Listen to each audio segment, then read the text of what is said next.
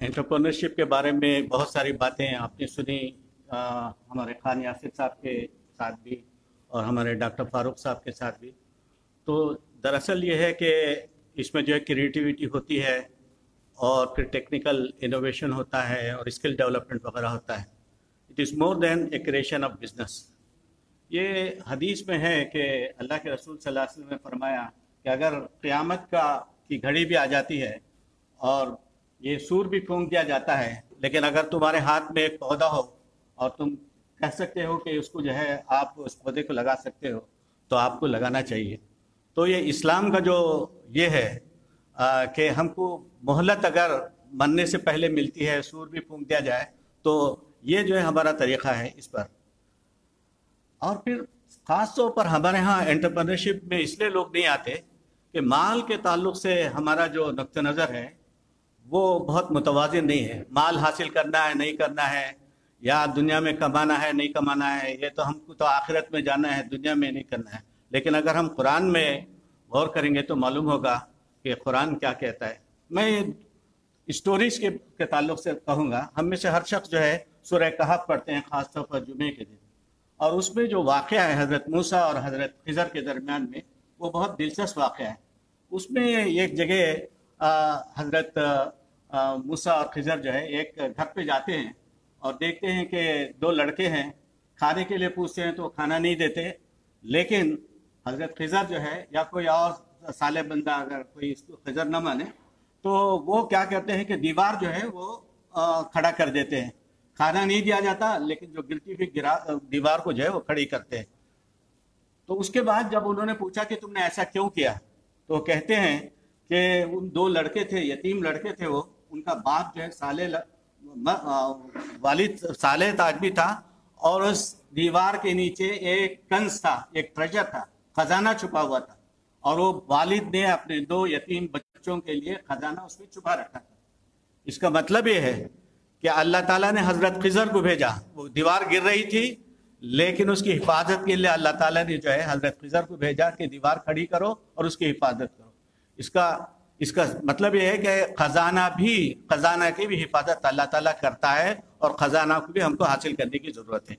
इसी तरीके से एक तीन आ, लोगों का वाक़ हदीस में आता है। आप जानते हैं कि एक तूफ़ानी रात थी। तीन लोग जो है एक गार में छुप छुप गए थे और ऊपर से जो है एक चट्टान आके जो है उसमें उसको ये कर लेती है गार के मुँह को बंद कर लेती है। उसमें उन्होंने देखा कि आपको ये रास्ता नहीं है कि हम जो है अल्लाह ताला से कहाँ जो है हम दुआ करेंगे। अपनी जो सबसे ज़्यादा अच्छा अमल जो हमने किया अल्लाह ताला के लिए, उस अमल का वास्ता देकर हम उसके उससे निकलने की कोशिश करेंगे। उसमें एक शख्स ये कहता है कि मेरे पास एक मजदूर आया था और मजदूरी करने के बाद वो मजदूरी लिए बगैर चला गया। और फिर बहुत दिनों के बाद वो मजदूर, अपनी मजदूरी लेने के लिए आया। तो मैंने कहा कि देखो उसने मजदूरी पूछी तो उन्होंने कहा कि देखो, ये जो बैल बकरियाँ चल रही हैं, वो ले जाओ। उसने कहा, मैं तो तुमसे जो ये पूछ रहा था कि मुझे मजदूरी दो, ये बैल और बकरियाँ क्यों मुझे देते हैं? तो उसने कहा कि आपकी जो मजदूरी थी एक दिन की मजदूरी या चंद दिनों की मजदूरी, मैंने उसको इन्वेस्ट किया। तो उसका मतलब ये है कि अगर छोटा सा सरमाया भी हो, उसको जो है आप जो है ऐसे आइडियल नहीं रख सकते। इस्लाम कहता है कि इसको जो है आपको इसमें लगाना चाहिए। और फिर गुर्बत के बारे में अल्लाह के रसूल वसल्लम कहते हैं कि गुर्बत जो है हमें कुफर तक पहुँचा सकती है, इसलिए अल्लाह के रसूल हमेशा जो है गुर्बत से पावर्टी से जो है अपने आप को बचाने की कोशिश करते हैं। आप जानते हैं कि सच्चर कमेटी की रिपोर्ट में मुसलमानों की क्या हैसियत है, ये आप सारे लोग जानते हैं। लेकिन मैं आपकी तवज्जो जो है एक मदीना मार्केट की तरफ़ ले जाना चाहता हूँ। सीरत की किताबों में इसका बहुत कम ज़िक्र होता है। मुझे बहुत ज़माना पहले, जब 20-25 साल पहले मुझे तुर्की जाने का मौका मिला वहाँ दुनिया के वर्ल्ड बिजनेसमैन का एक कंक्लेव था। वहाँ हमारे एक मलेशिया के दोस्त ने मुझे बताया कि सीरत का एक गुमनान गोशा है। अल्लाह के रसूल सल्लल्लाहु जब मदीना तशरीफ़ लग तो उनके साथ जो लोग आए थे वो कारोबारी थे बिजनेसमैन थे।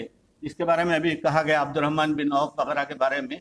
देखा कि उन्होंने बहुत देखा कि मदीने में जब वो लोग आए तो पूरे यहूदी जो है एक्सप्लॉइट कर रहे थे बनी का एक, एक मदीने में एक ये थी। और बाज़ार थी उसमें जो है वो लोग कारोबार करते थे। तो उसके बजाय अल्लाह के रसूल ने एक मार्केट कायम की जिसे सुखुल मदीना के नाम से हम याद करते हैं।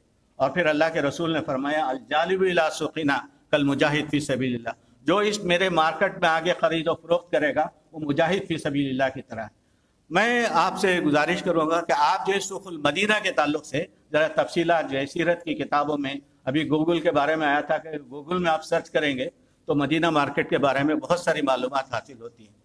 आपने जो है वहाँ नबी करीम वसल्लम ने वहाँ क्या किया? वहाँ उन्होंने कहा कि यहाँ कोई टैक्स नहीं लगेगा, यहाँ किसी की मनोपली नहीं होगी। और फिर कई डिपार्टमेंट्स उन्होंने बनाए इस मदीना में। यहाँ जानवर बिकेंगे, यहाँ कपड़े होंगे, यहाँ अनाज होगा। और सबसे दिलचस्प बात यह है कि वहाँ जहाँ मर्दों का एक इनक्लेव था, वहाँ खातन भी जो है वहाँ ताजिर के हैसियत से वहाँ काम करते थे। और आपको ये जानकर हैरत होगी कि अल्लाह के रसूल वसल्लम कई मरतबा मार्केट जाते थे और इंस्पेक्शन करते थे। वो मशहूर हदीस आपको मालूम है कि एक दिन अल्लाह के रसूल गए वहाँ पर देखा कि एक आ, इसका गेहूँ का एक ढेर है और अंदर हाथ लगाया तो वो अंदर गीला था और बाहर जो है सूखा था। आपने पूछा यह क्यों हुआ? तो उस शख्स ने कहा साहबी ने कि रात बारिश हुई थी तो इसलिए मैंने ऊपर का नीचे नीचे के ऊपर कर दिया। तो आपने फरमाया मनगशा ना फलैसा बिना जो धोखा दे वो हम में से नहीं। तो इसका मतलब है मुहतसिब मुकर के, वहाँ इंस्पेक्टर्स मुकर के। वहाँ जहाँ मर्द इंस्पेक्टर थे, वहाँ जो है औरत इंस्पेक्टर भी मौजूद थे। तो इसका मतलब ये है। और फिर जैसा कि पहले भी बताया गया कि अल्लाह के रसूल ने फरमाया कि रिस्क के जो दस दरवाजे हैं, उसमें से नौ जो है तिजारत से। लेकिन आज हम गौर करते हैं कि मुसलमान जो है तीन सौ साल से जो है तिजारत में दी मैं आप नौजवानों से कहूँगा कि आप हिम्मत करें, मुलाजिमत तो कीजिए, लेकिन आप हौसला रखिए कि आप छोटी मोटी तिजारत करें। तिजारत का मतलब बड़ी तिजारत नहीं है, बल्कि छोटी तिजारत भी जो है, अगर आप करेंगे तो आइंदा जो है इनशाला आप बड़ी तिजारत की तरफ़ जाएँगे। एक और हदीस की तरफ़ मैं आपकी तरफ़ मुतवजह कराऊँगा कि एक हदीस आती है, उसमें यह है कि एक शख्स जा रहे थे जंगल में। आवाज़ आई अबर से, क्लाउड से आवाज़ आई कि फला शख्स के खेत पे तो बरस जाके। तो वो शख्स गए कि देखेंगे वो कहाँ जाके ये बारिश बरसती है। देखा कि एक शख्स खड़ा है और फिर फावड़े से जो है अपने वो पानी जो है वो अपने खेत में सेंच रहा है। तो उसने पूछा उस शख्स से जाके, अरे मियाँ, तुम क्या करते हो? क्या अमल करते हो कि आसमान से आवाज़ आती है कि तेरे खेत में जाके बरस? उसने कहा, देखा, मैं तो फावड़ा लेके खड़ा हुआ हूँ और पानी जो है अपने खेत को सेंच रहा हूँ। उसने कहा, कोई खास बात है। तो उस शख्स ने कहा, देखो, जब मैं पैदावार, पैदा होती है तो मैं इसको तीन हिस्से में करता हूँ। एक हिस्सा अपने घर वालों के लिए रखता हूँ, एक हिस्सा अपने रिश्तेदारों को जो सबका करता हूँ। लेकिन एक हिस्सा जो है, मैं इसे फ्लो बैक करता हूँ इसी खेत में। आज के मैनेजमेंट के सिस्टम में जो है, ये बहुत अहमियत के हामिल है कि हम रिसर्च करें डेवलप करें flow back into the business करें। बदकिस्मती से हमारे मुसलमान क्या करते हैं? आमदनी से ज़्यादा खर्च करते हैं। लेकिन रिसर्च और डेवलपमेंट के ताल्लुक से जो हमारे यहाँ कोई फैसला नहीं होता। तो कारोबार में एंटरप्रनरशिप में बहुत अहम बात यह है कि हम बचाएँ भी और इन्वेस्ट करें कि flow back into the system में जो है, हम लाएँ अपने कारोबार में, अपने नफे का एक हिस्सा। इसमें कहा जाता हदीस की रूह से यह है कि वन थर्ड जो है, तुम जो है इसमें लगाओ। इसी तरह अल्लाह के रसूल सल्लल्लाहु अलैहि वसल्लम ने फरमाया मनसना मिनकुम शहीद फलयुसिन तुम अगर कोई चीज़ मैन्युफैक्चर करो सनत का लफ्ज इस्तेमाल है हदीस में तो तुम उसे बेहतरीन तरीके से बनाओ। कंपटीशन करो वैल्यू एडेड करो उसको ताकि जो है कोई इसको जो है आ, ये ना करे। जैसा कि आप अभी आपके सामने बात आई थी कि जो दस सहाबा थे आश्रय मुबशरा उसमें अब्दुलरहमान बिन औफ के बारे में आपके सामने बात आई थी। तो उन्होंने क्या किया? पहले पनीर से शुरू की ड्राई पनीर से उन्होंने बात शुरू की। फिर जो है घोड़े की तरफ़ गए। लेकिन घोड़ों में जो है उनको नफा नहीं, सप्लाई ज़्यादा था और डिमांड कम था। तो आपने जो है दूसरे कारोबार शुरू किए, उसका इस्तबल लगाया और फिर उसका जो सैडल कारोबार किया, फिर मुख्तलिफ़ कारोबार किए। इसी तरीके से जुबैर बिन अवाब रज़ी तु के बारे में आए। One of the first banker banker थे वो। इसी तरह तल्हा बिन उबैदुल्ला ये लोग, वो लोग थे जो जिहाद में भी शामिल थे। लेकिन दूसरी तरफ़ जो है ये ये लोग जो है इसके, इसमें भी मौजूद थे। तो ये हमारे सामने आता है कि हमारे साहबा जिनको जिन जन्नत की बशारत दी गई थी और जिसके बारे में अभी हदीसों में भी बयान हुआ कि ताजिर सदूक मान नबीन व सिद्दीकीन व शहदा ताजिर सादिक वो है जो नबियों के साथ और इसके साथ जो है उठाया जाएगा। ये देखिए कि ये एक, एक और ये है कि जक़ात में और इंटरेस्ट में जक़ात जो है मालदारों से गरीब की तरफ़ आता है और सूद जो है गरीब का जो है उसकी तरफ़ जाता है। हमें एक और चीज़ की तरफ़ मैं आपकी तवज्जो मुतवजह कराना चाहूँगा, जो हमारे लिए बहुत ज़रूरी है। हमारे दीन के जो पाँच बुनियादें हैं, कलीमा है, नमाज़ है, रोज़ा है, ज़क़़त है और हज है। हम कलीमे के बारे में भी हमारे लोगों ने बहुत कोशिश की है। नमाज़ भी हम जो है फर, न सिर्फ़ फ़र्ज़ पढ़ते हैं, सुन्नत भी पढ़ते हैं, नफिल भी पढ़ते हैं। और फिर जो है हज और उम्र तो आजकल जो है रोज़ा भी लोग रखते हैं, रमज़ान के रोज़े के अलावा। लेकिन ज़क़़त के बारे में हमारी मालूम बहुत कम है। दौर नबी में कैसा था? अल्लाह के रसूल वसल्लम कैसे जो है ज़क़़त वसूल करते थे? इज्तमाही नज़म ज़क़़त कैसे था? किन लोगों को ज़क़़त वसूल करने के लिए भेजते थे? उम्माल सदक़ात कौन थे? और फिर जो कातिबिन सदक़ात कौन थे? अगर मैं किसी महफिल में जाके पूछता कि फजर की नमाज़ कितने रकात पढ़ना है तो लोग कहते कि भाई दो रकात पढ़नी है। लेकिन जक़ात किसको देना है? तो बहुत कम लोगों को मालूम है कि जक़ात किन लोगों को देना है। तो मैं यहाँ गुजारिश करूँगा आपसे कि इज्तमाही इंस्टीट्यूशनलाइजेशन ऑफ़ द जक़ात इसके बारे में हम गौर करें। तो इसमें मालूम होगा कि आठ किस्म के लोगों को इसके बाद की स्लाइड में आएगा।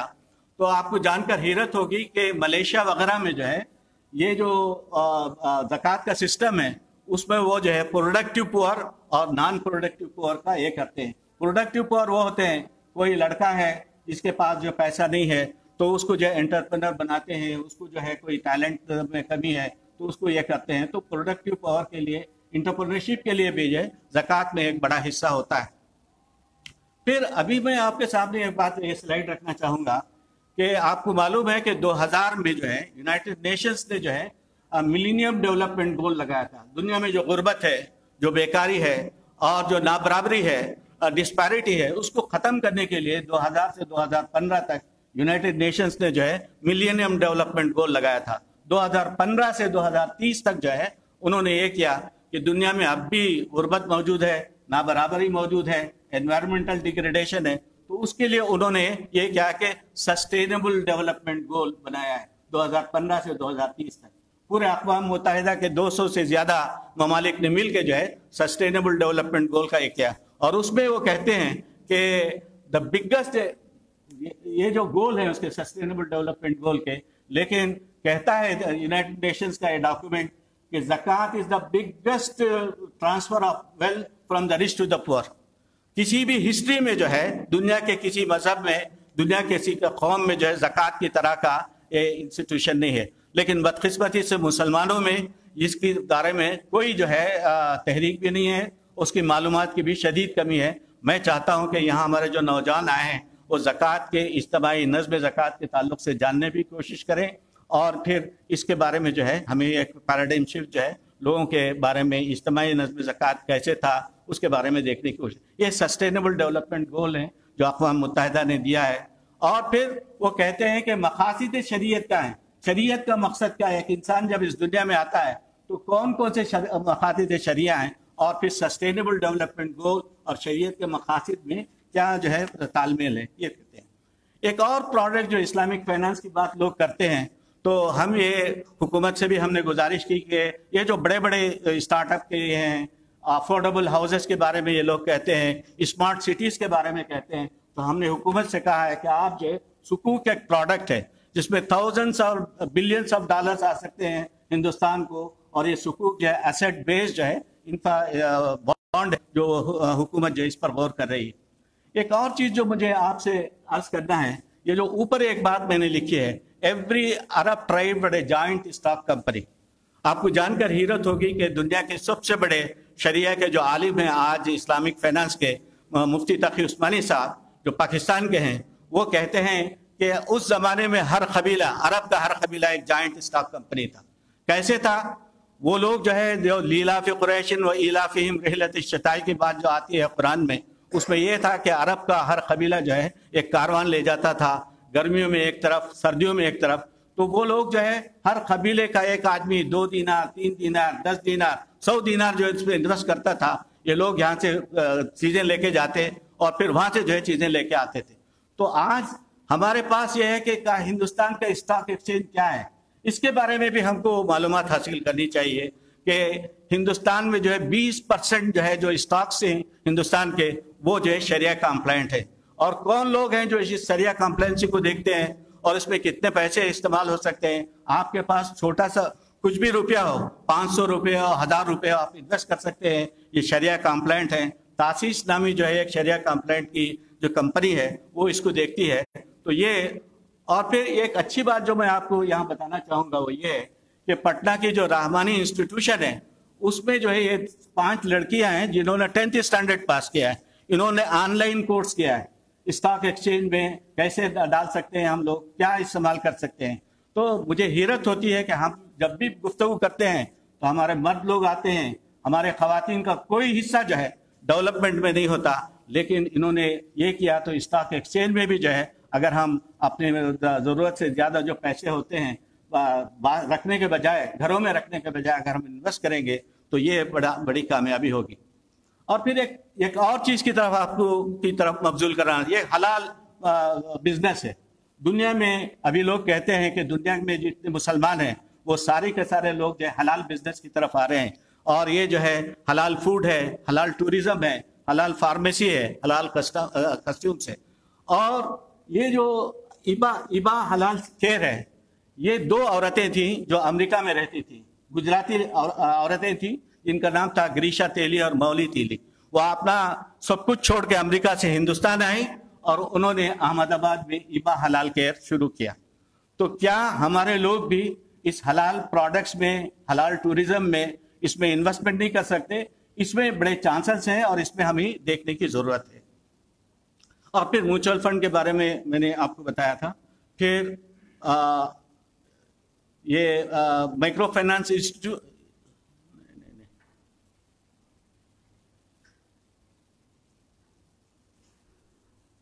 ये माइक्रो फाइनेंस के बारे में मैं आपको बताना चाहूँगा कि अभी जो बातें हमारे या, खान यासिर साहब ने भी कही और हमारे डॉक्टर फारूक साहब ने भी कही हजूर सल्लम ने जो बात की थी कि जिस शख्स ने उनके पास आके कुछ सबका पूछा था तो उससे पूछा तुम्हारे घर में क्या है? तो उन्होंने कहा कि मेरे पास एक प्याला है एक चादर है दोनों को जो है, मस्जिद नबी में अल्लाह के रसूल सल्लल्लाहु अलैहि वसल्लम ने नीलाम किया। दो दिरहम में उसे बेचा और फिर उसको जो काम किया था, वो बहुत अहम है। वो ये है कि उन्होंने उसको कहा कि एक तुम जो है कुलाड़ी लेके आओ। खुद आपने दस्ते मुबारक से जो है, आपने जैसे हैंडल लगाया और फिर उसको गाइड किया कि तुम जंगल जाओ और लकड़ियाँ काटो, बाज़ार में जो है उसे फरोख्त करो और फिर जो है उसे जो है दस दिन के बाद मेरे पास आना। दस दिन के बाद उनके हाथ में जो है दस दिन हम मौजूद थे, पंद्रह दिन के बाद और उनका चेहरा खुला हुआ था। तो ये जो है एक्सपर्ट कहते हैं, इस्लामिक फाइनेंस के एक्सपर्ट्स कहते हैं कि ये दुनिया का सबसे पहले माइक्रो फाइनेंस था, जो मस्जिद नबी में शुरू हुआ। लेकिन हमको, हमारी तारीख मालूम नहीं है कि किसने शुरू किया। पूरी दुनिया के सारे लोग एन माइक्रो फाइनेंस करते हैं और उसके जो सबसे पहले करने वाले अल्लाह के रसूल सल्लल्लाहु अलैहि वसल्लम ने जो है माइक्रो फाइनेंस जो मस्जिद नबी में कायम किया था। और इसे जो अगर हम करेंगे तो एक तरफ़ जो है, हम लोगों की खिदमत भी करेंगे, गरीबों को जो है, अपने गुर्बत की सतह से हाशे से निकाल कर उठाएँगे और एक सुन्नत रसूल पर भी हम अमल करेंगे। तो माइक्रो फाइनेंस के इंस्टीट्यूशन हमारे पास हैं, सहूलत माइक्रो फाइनेंस है, जनसेवा कोऑपरेटिव फाइनेंस है, इसी तरीके से संगमम है, अलखैर है, खिदमत है, ये सारी चीज़ें हैं। इन्फिनिटी है राहबर फाइनेंशियल इंस्टीट्यूशन है। और आपको इसलिए कि मुझे इस्लामिक फाइनेंस के बारे में कुछ बातें बतानी है तो ये जो है, जब हमने गुफ्तु की फाइनेंस मिनिस्ट्री से तो उस जमाने के फाइनेंस मिनिस्टर ने मुझसे कहा कि you are talking about the Muslim countries why not non Muslim countries तो हमने जो है, ये डॉक्यूमेंट बनाया कि इस्लामिक फाइनेंस जो है, वो कैसे ब्रिटेन में मौजूद है, जापान में मौजूद है, सिंगापुर में है, ऑस्ट्रेलिया में, चाइना में, इस तरीके से ये सारी दुनिया में मौजूद है। अभी जब आपको मालूम होगा कि 2008 में जो दुनिया जो है, एक पूरे जो सर फाइनेंशियल कसाद बाजारी के साथ गुजर रही थी तो ये जो है, ये देखिए latest bank the Muslim way मुसलमानों ने डिमांड नहीं किया, बल्कि गैर मुस्लिमों ने यूरोप में ये कहा कि latest bank the Muslim way गैर मुस्लिमों ने कहा कि हम जो है इस्लामी बैंकिंग को हम चाहते हैं। और और फिर ये क्यों दुनिया में ये पैदा हुआ? तो ये इसके बारे में भी गौर करने की ज़रूरत है। इस्लामिक फाइनेंस के प्रिंसिपल्स क्या हैं? मिसाल के तौर पर जो है, इंटरेस्ट के बगैर है, ये सूद और सट्टा के बगैर है, और फिर ये एथिकल सेक्टर्स में जो है, इसे इन्वेस्टमेंट होता है।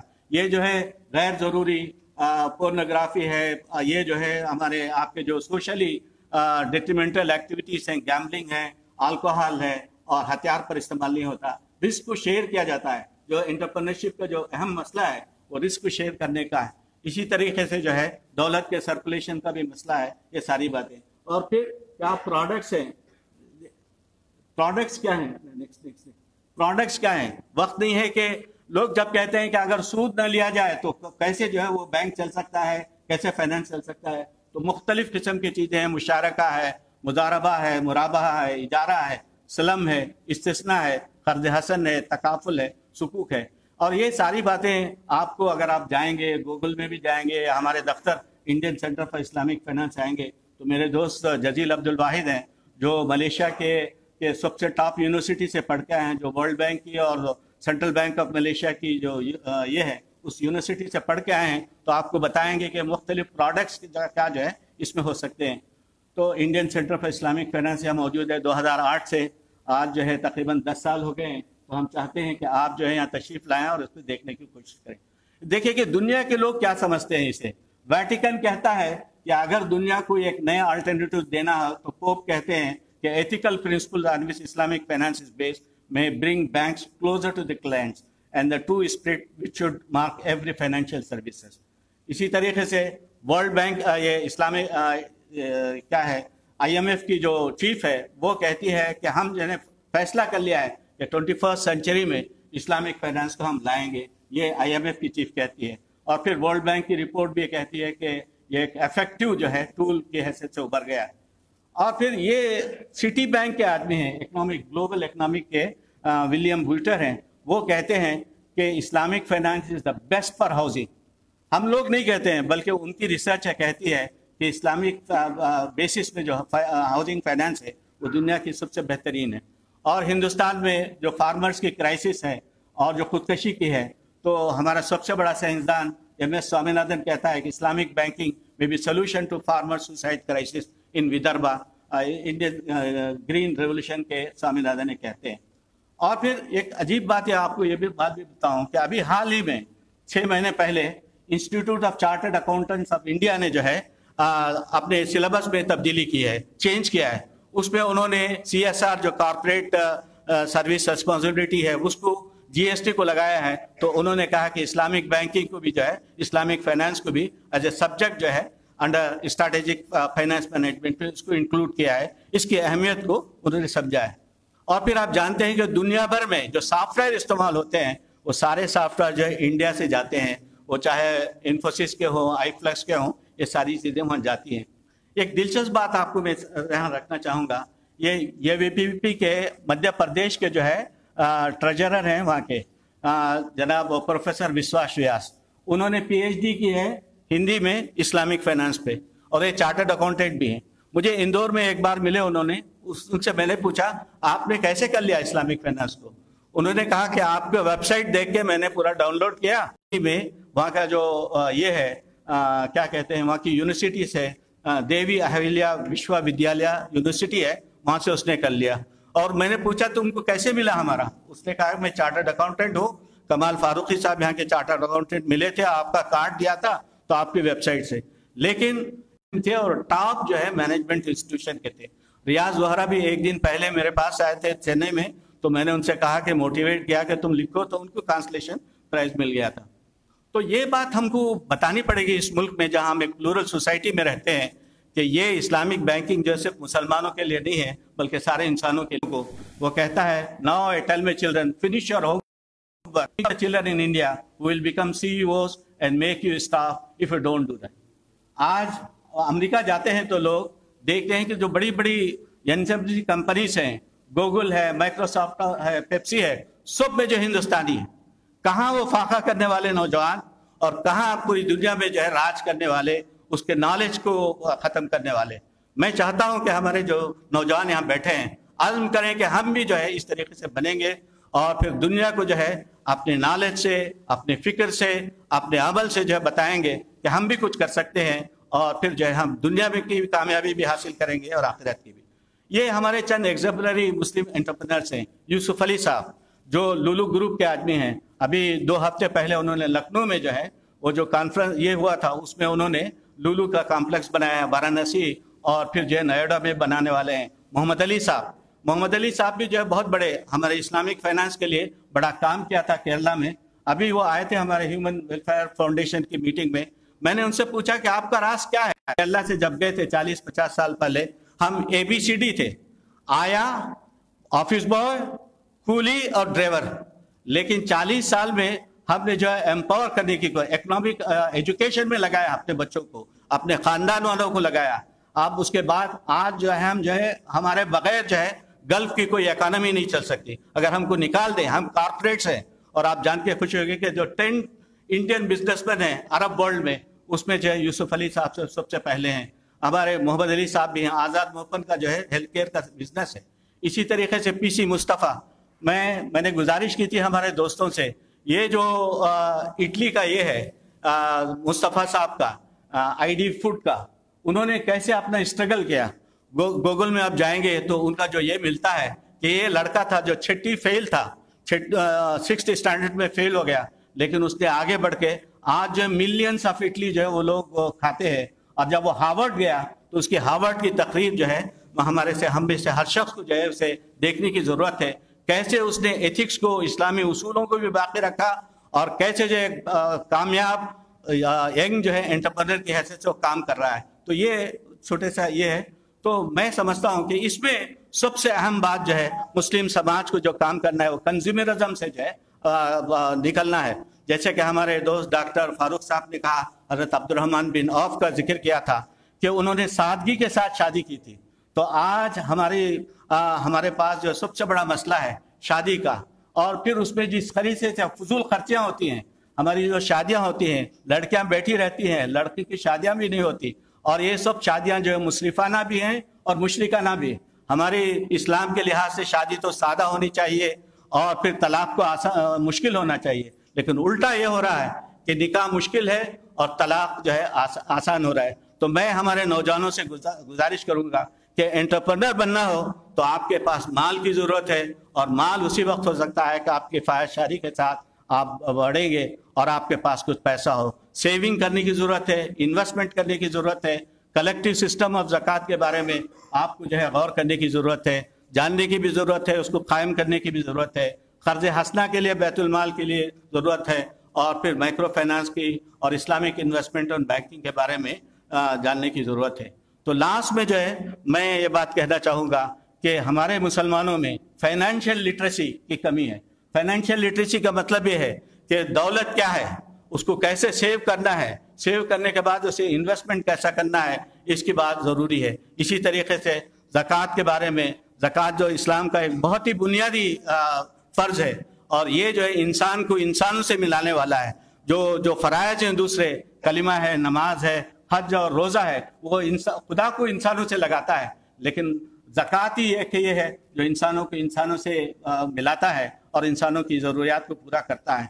और गैर मुस्लिमों में ये ये मिसकनसप्शन को दूर करना है कि यह इस्लामिक फाइनेंस और बैंकिंग है जो है, वो सिर्फ़ मुसलमानों के है, ऐसा नहीं है। इसके लिए हमें अवेयरनेस भी क्रिएट करने की ज़रूरत है पॉलिटिकल लेवल पे भी हमें बात करने की ज़रूरत है। और मैं आपसे गुजारिश करूँगा कि आप हमारे centre, Indian Centre for Islamic Finance को आए और हमारे दोस्त जलील जलील ये मेरे दोस्त हैं जो मलेशिया में पढ़ के हैं, जजील अब्दुल वाहिद। तो इनसे भी आप मुलाकात करेंगे और उससे मिलेंगे। तो इन आपको बहुत सारी बातें हमने पंद्रह साल से जो है, हुकूमत हिंदुस्तान से भी और फिर रिज़र्व बैंक ऑफ़ इंडिया से भी बहुत सारी कोशिश की इंश्योरेंस के के मुकाबले में तकाफुल को कैसे लाना है स्टेट बैंक ऑफ़ इंडिया में जो है एथिकल फाइनेंस के लिए हमने क्या कोशिशें की हैं और मुख्तलिफ़ महाजों पर हमने जो लिटरेचर पैदा किया है डॉक्यूमेंट पैदा किए हैं, वो सारी चीज़ें जो है हमारे पास Indian Centre for Islamic Finance में हैं। एक हज़ार किताबें जो है इस्लामिक फाइनेंस और इस पर भी हैं तो ये सारी चीज़ें आपको मिल सकती हैं। तो मैं आपसे गुजारिश भी करूँगा कि अल्लाह ताला से दुआ भी कि ये जो का मीटिंग हो रही है, इंट्रैक्शन हो रहा है, वो हमारे लिए बहुत ही कामयाबी का बायस बने। और हम जो एक नए वलवले के साथ हम जाएँ कि हमारे पास वो सारी चीज़ें हैं, हमारे दीन में वो सारी चीज़ें हैं जो इंसान को जो ताकतवर भी बनाती हैं, दुनिया की कामयाबी भी उसे अता करती हैं और आखिरत की कामयाबी भी। रबना तकबल मन्ना इन समीम वतुब ना इन तवाब रहीम।